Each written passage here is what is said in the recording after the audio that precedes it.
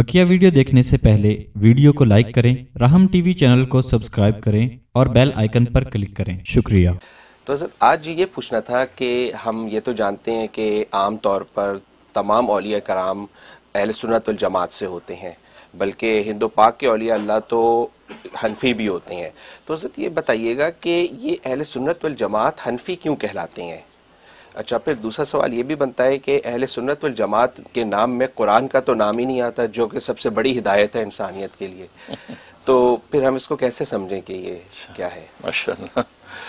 अच्छा सवाल लाया आप कि अहल सुन्नत वल जमात जो है उसमें कुरान का ज़िक्र ही नहीं है। जी। और कुरान सबसे बड़ी हिदायत है। नाम में ज़िक्र नहीं है। तो इसी तरीके से औलिया कामिल अहल सुन्नत वल जमात होते हैं। असल में पहली बात यह है कि अहल सुन्नत वल जमात हदीस में जैसे किसी हैसीता की हदीस है कि नबी करीम सल्लल्लाहु अलैहि वसल्लम फरमाया कि बनी इसराइल में बहत्तर फ़िरक़े बने और मेरी उम्मत में तिहत्तर बनेंगे और एक नाजी होगा निजात पाएगा बाकी सारे नारी होंगे। एक नाजी होगा। वो एक नाजी कौन होगा? वो अहल सुनवल जमात होगा। ये हदीस के अल्फाज हैं। हदीस में। वो हुआ यूँ कि जब ये आयत सूरत आल इमरान आयत नंबर 106 गालबन 106 और, और 107 है। तो सूरत आल इमरान उस ये जो नाजिल हुई योम यौम तब यब्ज़ वजूह व तस्वद वजूह कि कल रोज़ क़्यामत में बाज़ चेहरे रोशन होंगे बाज़ चेहरे स्याह होंगे और जो चेहरे स्याह होंगे स्याह होंगे ज़ाहिर है कि वो जहन्नुम के अंदर मरेंगे और जो रोशन चेहरे होंगे वो जन्नतों के बागों में होंगे। तो साहबा इकराम रिजवान मजमैन ने पूछा कि ये कौन लोग होंगे कि जिनके चेहरे रोशन होंगे? उस पर आपने फरमाया कि हम आल सुन्नति वल जमा वो अहल सुन्नत वल जमात होंगे। और ये रिवायत अल्लामा जलालुद्दीन सयूती अलैह ने तफसीर दुर्र मंसूर में इसी आयत के तहत ज़िक्र की है अच्छा। अपनी सनदों के साथ। तो अहल सुन्नत वल जमात ये नाम नबी करीम वसल्लम ही रख गए हैं। आप ही ने रख दिया नाम उस नाजी फिरके का कि जो जन्नत में जाने वाला है। ठीक है ना? तो इसलिए अब रहा यह सवाल कि अहल सुन्नत वल जमात में कुरान का नाम नहीं है। जी। कुरान क्योंकि नबी करीम सल्लल्लाहु अलैहि वसल्लम की हदीस है कि मैं तुम्हारे अंदर दो चीज़ें छोड़ के जा रहा हूँ। तुम उन दोनों चीज़ों को मज़बूत पकड़े रखोगे तो कभी गुमराह नहीं होगे। एक रिवायत में अल्फाज है किताबुल्लाह व सुन्नती। अल्लाह की किताब और मेरी सुन्नत। ठीक? और एक रिवायत में फरमाया किताबुल्लाह व इतरती। अल्लाह की किताब और मेरे अहले बैत। ठीक है ना? ये फरमाया तो किताबुल्लाह व सुन्नती फरमाया कि अल्लाह की किताब और मेरी सुन्नत मैं ये छोड़ के जा रहा हूँ। अब यह सवाल पैदा होता है कि किताबुल्ला क्या है सुन्नत क्या है? हम्म जी बिल्कुल। किताबुल्लाह इल्म है। किताबुल्लाह इल्म है और सुन्नत उसका अमल है। अच्छा। ठीक है ना? कि कुरान करीम के अंदर जो उलूम है वो अमली शक्ल में वो सुन्नत में नज़र आते हैं। सुन्नत में नज़र आते हैं। क्योंकि अल्लाह ने ये इल्म नाजिल किया नबी पे तो नबी को ये भी हिदायत दी कि आप इसको अमली तौर पे करके दिखाएँ। क्योंकि गोया कि आपको मैंने उसवा हसना बनाया है लकद कान लकुम फ़ी रसूल उसवा तो हसना। तो आप ये इलम है और इलम इलम रह जाए तो वो तो निजात का ज़रिया नहीं है। देखो एक शख्स को इलम है कि नमाज़ फ़र्ज़ है इस पर तो उसकी निजात नहीं होगी जब तक पढ़ेगा नहीं। बिल्कुल। एक बंदे को इलम है कि रोजा फ़र्ज़ है लेकिन रखता नहीं है। तो इलम पर आपको निजात नहीं, अमल पर निजात है। तो सुन्नत असल में कुरान के अमल का दूसरा नाम है। तो नबी ने उस कुरान में हुक्म है नमाज़ पढ़ो। तो नबी ने वो नमाज़ जो कुरान में मतलूब है वो पढ़ के दिखाई कि ये ऐसी नमाज़ है जो कुरान मांग रहा है। जैसा रोजा रखो, वैसा रोजा रखे दिखाया कि ऐसा रोजा जो कुरान मुतालबा कर रहा है। ठीक है ना? हज है तो नबी ने हज करके दिखाया कि वो हज जो कुरान कह रहा है वो ऐसा हज करना तुमने। ठीक? तो सुन्नत को है कि कुरान पे अमल का दूसरा नाम है।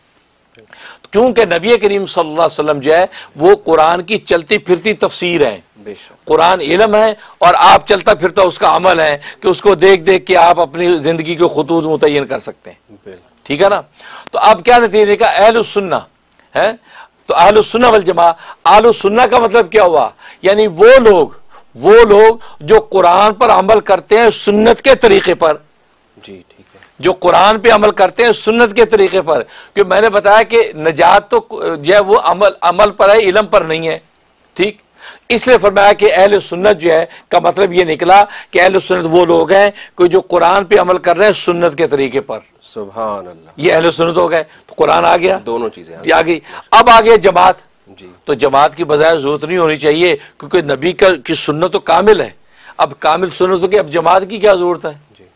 बस वो जो है वो सुन्नत अहल सुन्नत नाम होता। लेकिन नबी ने अहल सुन्नत के साथ वल जमात भी फरमाया। जमात से बाद साहबा इकराम उनको भी शामिल किया। ये क्यों शामिल किया? उसकी वजह यह है। आप जानते हैं कि जब कोई कीमती चीज़ मार्केट में आती है तो उसकी नकलें भी बनती है, जाली भी बनती हैं, डुप्लीकेट भी बनती हैं। अब राडो घड़ी आई, अब राडो घड़ी की डुप्लीकेट भी बनेगी, ठीक? अब जब डुप्लीकेट बनेगी तो डिफ्रेंशिएट कैसे होगा? पता कैसे लगे ये असली है, नकली है? तो आप दुनिया के अंदर अपनी कसौटियाँ बनाते हैं कि यार ये कसौटी है, इससे पता लगे ये जाली है, हैं? असली शहद मार्केट में आया तो नकली शहद भी आ गया। ठीक? तो अब ये वल जमा इसलिए फरमाया जमा बाद साहबा है। अब जब नबी ने कहा कि मेरी सुन्नत मेरी सुन्नत अब नबी की सुन्नतें तो कितनी आएँगी मार्केट में? सेवेंटी थ्री तिहत्तर आएँगी। क्योंकि आपने कहा ना बहत्तर और मेरे तिहत्तर तो तिहत्तर किस्म की सुन्नतें मार्केट में आएँगी। क्योंकि हर फिरका अपने तरीके पर नबी की सुन्नत को पेश करेगा। अब ये तिहत्तर आ गई अब आप किसको अडॉप्ट करें? यार ये ये असली है ये ये असली ये क्या करें? तो नबी ने कहा कि जिन्होंने खुद सुन्नत देखी जो तस्दीक करें वो मेरे साहबा हैं। साहबा से पूछना। सुभान अल्लाह सुभान वो बताएँगे ये असली है। और ये नकली है ये नकली ये असली है। क्योंकि उन्होंने तो मेरी सुन्नत को देखा है। जी लिहाजा वो सुन्नत की तस्दीक करने वाले वो लोग हैं। तो तस्दीक की मोर साहबा से लगवा लेना। ज़बरदस्त माशाल्लाह। अगर ना लगवाई तो नतीजे को पता नहीं आप जो पता चले किसी जाली की सुन्नत पे अमल कर रहे हैं। क्योंकि सुन्नत डुप्लीकेट आएगी। ये पेशेंट को सियासता की है कि 73 आएँगे फिरके। हर फिरके का अपना एक नज़रिया होगा। इसलिए जमात की नबी ने कैद लगाई कि मेरी सुन्नतों के अंदर असली को तलाश करने का तरीका यह है कि उसके तस्दीक करने वाले साहब है क्योंकि बरह रास्त में शागिद हैं आप उनसे पूछें। अच्छा उनके अंदर भी दर्जा बंदी कर दी। और फरमाया कि अलैकुम भी सुन्नति मेरी सुन्नत को लाजिम पकड़ो। वह सुन्नतुल खुलफा राशिदीन। खुलफा राशिदीन की सुन्नत को लाजिम पकड़ो। फरमाया मेरी सुन्नत के बारे में जब पता करना हो सबसे पहले खुलफा राशिदीन को पूछो। सिद्दीक अकबर से पूछो फारूक आज़म से पूछो उस्मान गनी से पूछो अली मुर्तजा से पूछो रज़ी अल्लाह तु क्योंकि ये खुलफा राशिदीन इनसे पूछो। और इनसे जब पूछोगे तो पता चल जाएगा कि असल है क्या। जी। फिर अशरा मुबशरा को लेवल दे दिया। उनसे नहीं पता अशरा मुबशरा से पूछो। फिर किबार साहबा से पूछो असाब बदर से पूछो तो गोया कि ये दर्जा बंदी होती चली जाती है। जी। और फिर मुतलकन साहबा के बारे में फरमा दिया असहाबी का नजूम मेरे साहबा सितारों की मानद है बेआई मुख्त तुम एहदत तुम तुम जिसकी भी रास्ते को इख्तियार करोगे हिदायत पा जाओगे।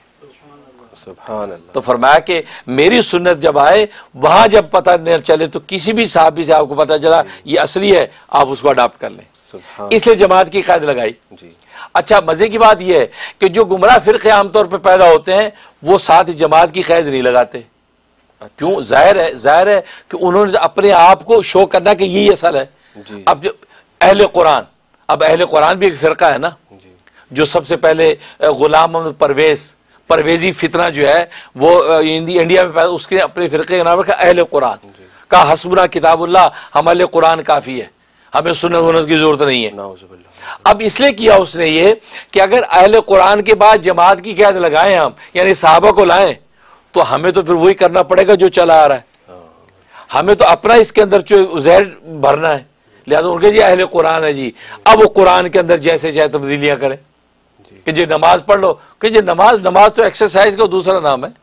क्योंकि नमाज़ का माना है ये सुरीन हिलाना ये कुल कुल हिलाने का को कहते हैं सलात अरबी में। वो लोग भी माना कर लिहाजा जो है ये अगर किसी ने एक्सरसाइज सुबह शाम कर ली तो नमाज़ हो गई। क्योंकि कुल हिल गए ना नमाज़ हो गई। ये इस तरह करके सारी इबादत बर्बाद की उसने। ये परवेजी ने। क्योंकि उसने अपने वो अहले कुरान का ये गुमराह। तो इसी तरीके से बहुत से बहुत से अहले हदीस नाम से भी फिरके मौजूद हैं। अहले हदीस पे आके रुक गए। आगे। और नबी ने जब के कहा कि जब साहबा ने पूछा आप उसके लिए कोई मेयार कसौटी बताएँ कि हक वाले कौन है? आपने क्या फरमाया? माँ आना अलही व साहबी जिस पर मैं हूँ और मेरे साहबा हैं। तो आपने जमात को साथ रखा है। मैं और मेरे साहबा जिसके ऊपर कायम है वो हक है। ये जो अहल सुन्नत वल जमात है और यही वो नाजी हैं जो निजात पाएँगे। बाकी सारे नारी हैं। तो देखो लेकिन अगर आप अपने आप को अहले कुरान कहते हैं तो वल जमात तो नहीं शामिल साहबा तो शामिल नहीं। और अहले हदीस कहते हैं साथ जमात तो शामिल नहीं है तो फिर वो आगे क्या? ऐसे जितने ऐसे फ़िरक़ेबाज तो गोया कि वो नतीजा क्या होगा? वो जमात कटेगी तो आप फिर जो है वो मंजिल नहीं पा पाएँगे। क्योंकि वो तो असल वास्ता तो वही है कि जो आगे सब लेके चल रहे हैं। बिल्कुल। ठीक? इसलिए जो है हमारा जो नाम अहल सुनवल जमात है इसका मतलब यह है कि हम वो लोग हैं जो कुरान पे अमल करते हैं अपनी अकल से नहीं। अपनी अकल से नहीं बल्कि नबी की सुन्नत के मुताबिक कुरान पे अमल करते हैं। और जमात इसलिए है कि सुन्नत वो लेते हैं जिसकी तस्दीक साहबा से मिले। हम वो लोग हैं लिहाजा बिल्कुल प्योर माल लेके चलते हैं हम एम मार्केट में कोई उठा के माल नहीं चलते। ये अहल जमात। अब आ गया हनफी। हनफी। अब हनफी है कि नबी पाक वसल्लम बल्कि कुरान में फरमाया अल्लाह ताला ने। अल्लाह तबारक ने फरमाया कि वह साबिकून अव्वलून। कि वो कसौटी बताई कि जो कौन हक वाले हैं जन्नतों में जाने वाले। वह साबिकुल अव्वलून मेरे मुहाजिर वल अंसार। अंसार और मुहाजिर में जो सबकत ले जाने वाले हैं ईमान कबूल करने में। वल्लजीन तबाहुम जो उनकी इतबा और पैरवी करने वाले यानी साहबा के शागिर्द यानी ताबीन ताबीन। तो गोया कि मुहाजिर साहबा और अंसार साहबा फिर आगे ताबीन। फरमाया कि ये वो लोग हैं कि रज़ी अल्लाह वरज़न अल्लाह उनसे राज़ी हो उनसे अल्लाह से राज़ी हो गए। लिहाजा इन तीन तबकों के अंदर जो लोग हैं ये बिल्कुल परफेक्ट हक हैं। लिहाजा उनकी पैरवी में आप चलते चले जाओगे मंजिल मिल जाएगी। और इमाम अबू हनीफा ने ताबीन में से ये वाहिद इमाम है चार इमामों में से कि इमाम अबू हनीफा ताबी हैं। जो सहाबा की शागिर्द हैं जिन्होंने सहाबा को नमाजें पढ़ते देखा है वो नमाजों को देख के आगे हमें बताते कि नमाज़ यूँ पढ़नी है। अब इससे ज़्यादा अथेंटिक नमाज़ कौन सी हो सकती है? बाकी लोग तो वो हदीसें देख देख के बता रहे हैं ना ये तो साहबा को देख के साबी हाथ कैसे बाँध रहा है रुको में कैसे जा रहा है सजदा कैसे कर रहा है तो ये तो ये वो ताबी हैं। लिहाजा इनका मुकाम सारे इमामों से ऊपर तो लिहाजा इस आयत के अंदर भी शामिल है। और अल्लाह उनसे राज़ी वो अल्लाह से राज़ी। लिहाजा जो हनफी होना ये इतना बड़ा एजाज है कि इसके अंदर कोई गलती हो ही नहीं सकती। गलती हो ही नहीं सकती। और अच्छा मज़े की बात और आपकी सनद इतनी ऊँची है कि डायरेक्ट साहबा जी। हज अनस है ऊपर रसूलुल्लाह। एक बात से नबी तक पहुँच रहे। ये आपकी शान है। तो ऐसा इमाम कहाँ मिलेगा? अच्छा आज लोग क्या गलती करते हैं कि अब उसके बाद सनदें चली आ रही हैं? वो कहता फला रावी तो बीच में ज़यीफ है फला तो मजूल है। भाई बात सुनो छोटी सी मिसाल एक चश्मा पहाड़ में से चश्मा फूटे। चश्मा जहाँ से फूट रहा है उसके बाद नीचे जा रहा है। अब जहाँ से फूट रहा है वहाँ पानी शफाफ है ना वहाँ से आप पानी पी रहे हैं। कोई परेशानी नहीं है। ना लेकिन आगे जा रहा है जा रहा है काफ़ी आगे गया उसमें की तीले भी आ गए गर्द भी आ गया मिट्टी गया पत्थर आ गई तो आगे सफ़ाई की ज़रूरत पेश आएगी ना। वहाँ जहाँ बैठे वहाँ तो ज़रूरत नहीं पेश आएगी। अब वो हनीफा तो वहाँ बैठे हैं। आप तो साहबा के साथ बैठे हैं तो वहाँ सनद की बहस की ज़रूरत ही नहीं है। आप तो डायरेक्ट देख देख के बता रहे हैं भाई।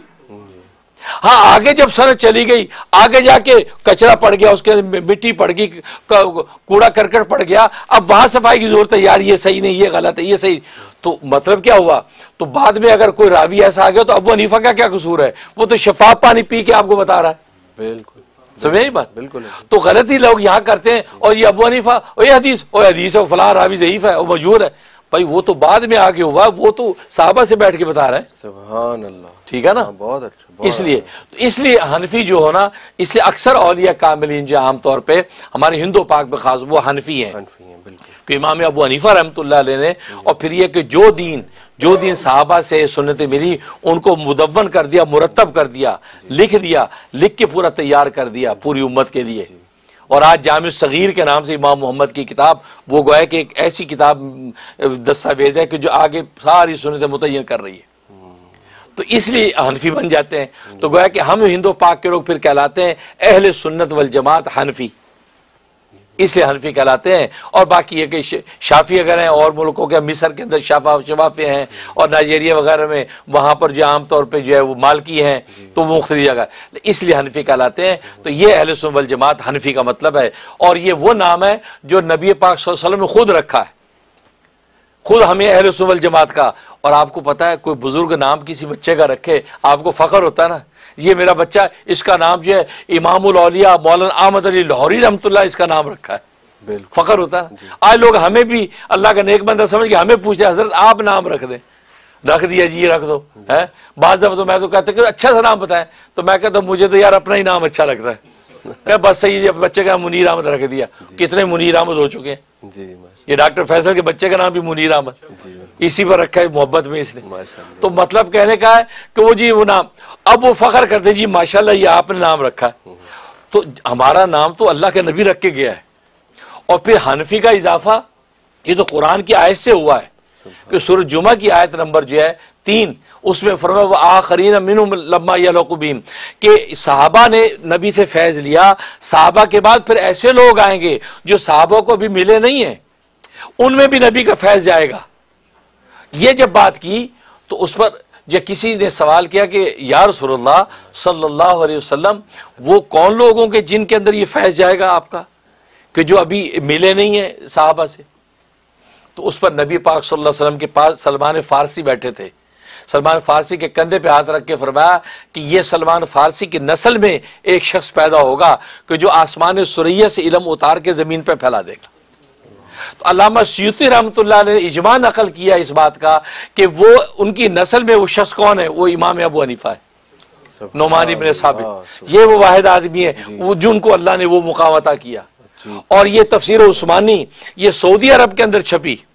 आज भी आप देख लें सऊदी अरब के शाह फैद के दौर में छपी है और उसके अंदर जो सूरज जुमा की आयत नंबर दो और तीन के नीचे इमाम सयूती का ये इजमा नकल किया और सऊदी अरब के पाँच सौ बड़े बड़े उलमा ने उसको अप्रूव किया कि बिल्कुल ठीक है। हालाँकि वो मसलन का हमली हैं शाफी हैं लेकिन उन्होंने इसे तो उन्होंने इस बात को माना है कि अबू हनीफा को जो मुकाम हासिल है वो किसी दूसरे इमाम को हासिल नहीं है। सुभान अल्लाह सुभान है? और वो आज भी जो उसके अंदर मौजूद। तो कहने का मकसद तो गोया कि कुरान की उस आयत की पेशगोई में इमाम अबू हनीफा आ रहे हैं। और फिर चलते चलते ये भी बता दूँ हम इमाम अबू हनीफा को इमाम आज़म कहते हैं ना बहुत से लोगों की चिड़ है इमाम आज़म। और जी इमाम आज़म तो रसूलुल्लाह है। भाई रसूलुल्लाह के साथ कहाँ तकाबुल कर रहा है यार? रसूलुल्लाह की शान कहाँ है? इमाम अबू हनीफा उनके मुकाबले में जूतियों का खाक नहीं यार। ये आप तकबुल ही गलत कर रहे हैं। सही। हम तो रसूलुल्लाह से मुकाबला कर ही नहीं रहे। जी। अगर ये बात है कि वो, वो इमाम आज़म तो रसूलुल्लाह है तो फिर हम ये कहें कि इमाम आज़म तो अल्लाह है।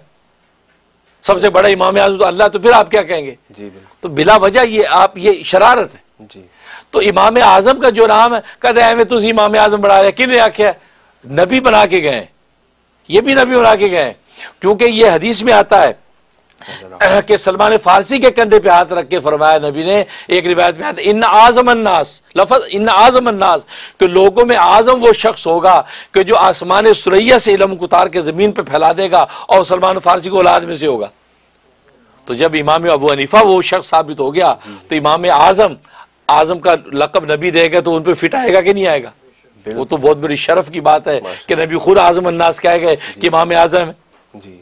तो गोया कि ये लकब भी नबी का दिया हुआ। तो गोया कि अलहमद हमारे पास जित सच्चा और सुच्चा माल है। हम अहल सुन्नत वल जमात हनफी सच्चा और सुच्चा माल है जो बराह से नबी से हम तक पहुँचा है। और बाकी लोगों ने अपने खुद ही नाम बनाए हैं, खुद ही नाम रखे, खुद ही सिलसिले कायम किए हैं, नज़रिए चलाए हैं। लेकिन जो अहल सुन्नत वल जमात हैं, उनका मुकाबला कोई नहीं कर सकता, क्योंकि बराह रास्त नबी पाक वसल्लम की जो शहादत और शर्फ उनको हासिल है।